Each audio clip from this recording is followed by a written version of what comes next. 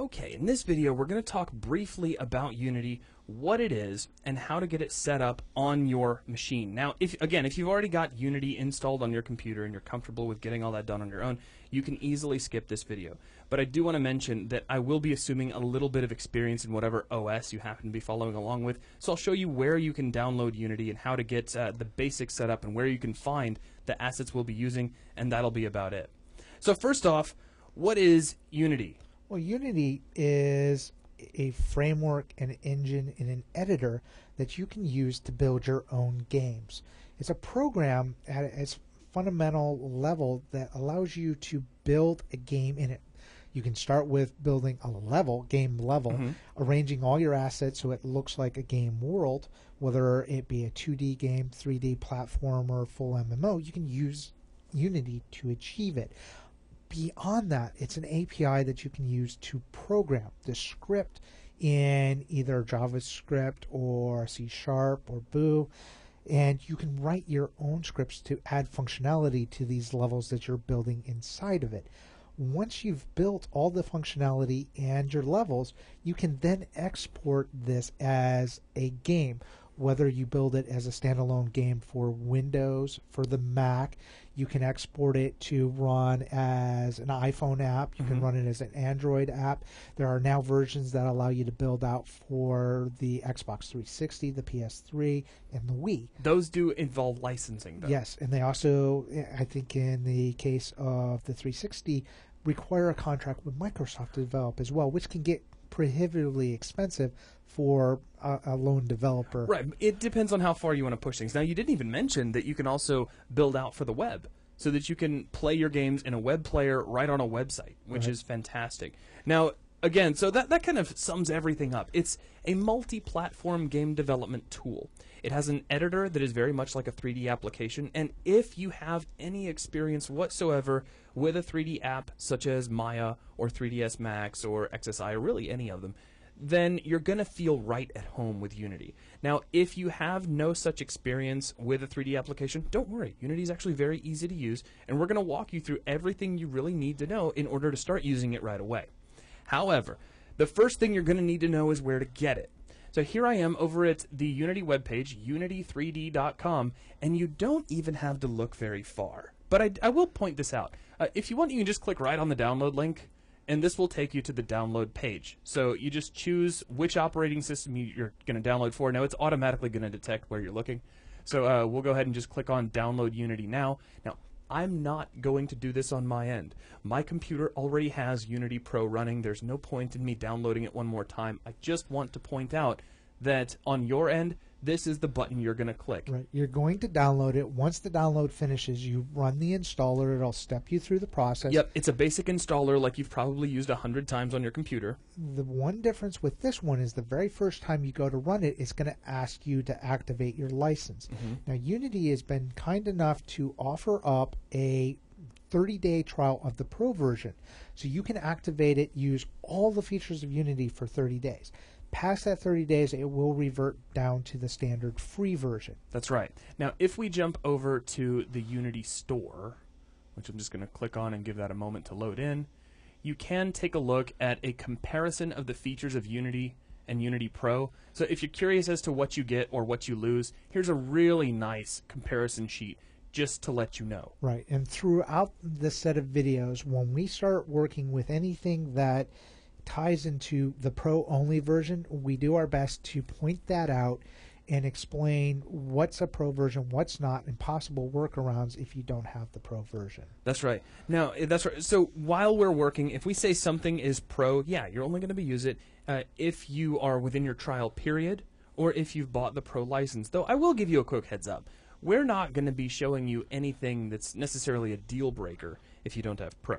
Now, they're just kind of nice little touches here and there. Niceties. Uh, your interface will look different. It will be a bright gray instead of a dark gray, and we'll talk about that and uh, and how that changes things a little bit. But that's not a major deal. You'll lose some light mapping features. You'll lose the pro water.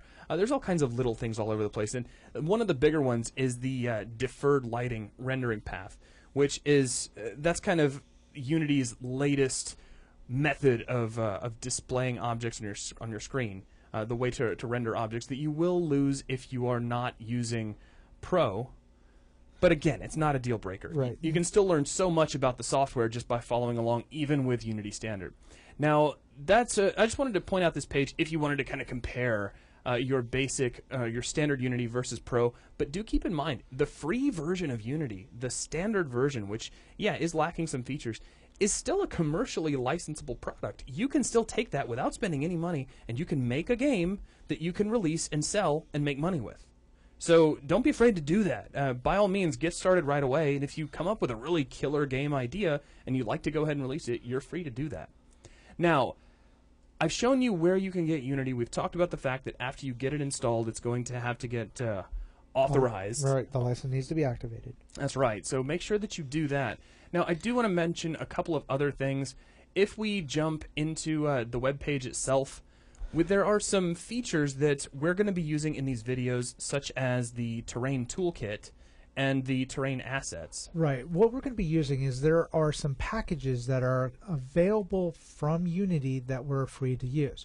Now you're going to find those under support, under resources. Actually, go back and click that a little more slowly this Okay. time. So we can go to the support section, and under here we have resources. So we can select on resources. Mhm. This is going to open up a menu.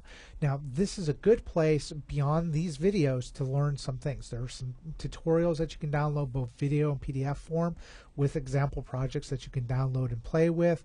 There's a lot of uh, Unite pres- presentations that they've done from their Unite conferences. Well, I just wanted to mention on those uh, example projects, it's great to be able to download a fully completed project, and you can not only play it, but you can open it up inside the Unity editor and pick it apart and see how the problem was tackled. Right. See how they did it, and then you can replicate it. Now, the part that we're talking about is going to be well. Here, let me skip this. We'll come back to it.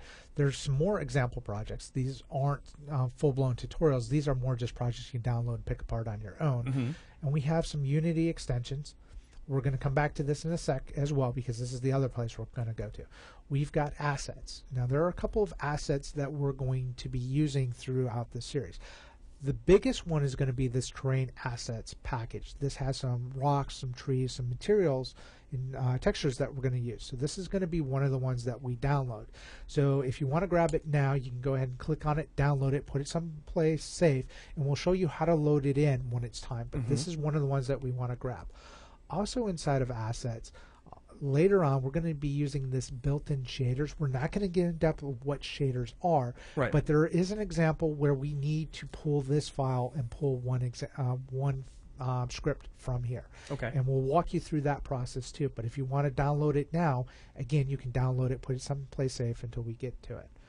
The other one that we need is Under going Unity extensions. extensions, yeah. This is going to be, you know, quite a few videos that we go over. This is the terrain toolkit. Now, this is a nice little tool that augments the creation of terrain, and we'll go in depth on what this thing can do. Yeah, in a nutshell, what it is is a system to allow you to create terrain much more quickly through some automated features. Right, it's procedural terrain generation. Right, and you can add things like procedurally based texture, you can add erosion effects, and things to make your terrain look a lot more natural. But you're going to have to start by downloading this zip file, and you will decompress that into the Unity installation Right. folder. And there's a lot more stuff in here. These are just the three packages that we're going to be playing with. Feel free, and I highly encourage you to go through all the different sections that mm-hmm. here and see what is available and use it as a tool to further your knowledge of Unity. That's right. You can download many of these various example projects and tutorials and just play with them. I mean, it, it doesn't matter if you understand what's going on at first. What'd be really cool if you you know if you're totally new to Unity is get one of these example projects up and running on your machine and just look at it and you know if you start to feel overwhelmed or confused that's okay then come back and watch our videos to get you up to speed with unity as a tool and then go back to that project with your new understanding and see how much you've learned so that that pretty much covers everything I wanted to discuss here, which is really just how to get your hands on Unity, how to go about installing it. However, I already have Unity running here, so I won't be running through the entire process right here on screen. So once you have that up and going, you are ready to follow along. And in the next video, what we're going to do is jump right in, as opposed to just walking you through a whole bunch of, you know, lecture on here's the user interface and here's how to do this and here's that. We're just going to make you make something right away. We're going to build this snow level that you see right here one step at a time. We're going to hold your hand through the whole process and make sure that you understand everything that's going on. There'll be a lot of detailed explanation as we go, and a lot of different topics we're going to be touching on throughout the process. Once we're finished with that, we're going to get into the what I what I call the reference section of Unity fundamentals, where we're going to talk about individual topics. We'll discuss terminology with Unity. We'll talk about how to work with certain aspects like uh, like game objects, like packages, like uh, prefabs, and how to create those. And then we'll talk about each one of those specific areas, such as lighting, such as light mapping, uh, terrains, uh, such as oh, I just want to Well, go our on physics. Uh, Yeah, rigid body physics, particles, trails, so many different topics we'll be covering. But that's how this is going to work. We're going to begin just by having you create your own level straight out of the gate to get your hands dirty, hit the ground running, so to speak. So without any further ado, let's get started and jump into the next video. Thanks for watching.